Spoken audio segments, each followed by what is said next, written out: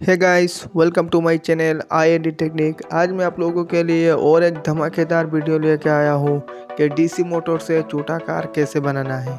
Video शुरू करने से पहले आप वीडियो को लाइक कर दें और चैनल को सब्सक्राइब और सब्सक्राइब के पास जो घंटा होता है उसे दबाइए ताकि आप नेक्स्ट वीडियो पर मिल सकें। तो चलिए वीडियो को शुरू करते हैं।